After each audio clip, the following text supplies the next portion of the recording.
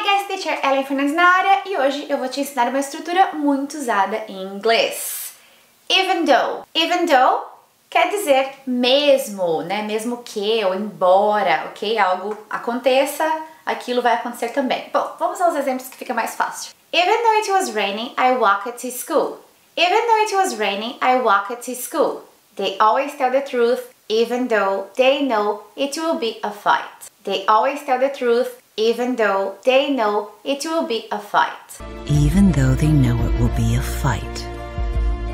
Even though they know it will be a fight. So, vamos praticar? Coloque uma frase aqui nos comentários usando even though que eu vou te ajudar. Se você gostou, não esquece de marcar seus amigos e se inscrever no meu canal. Take care, bye!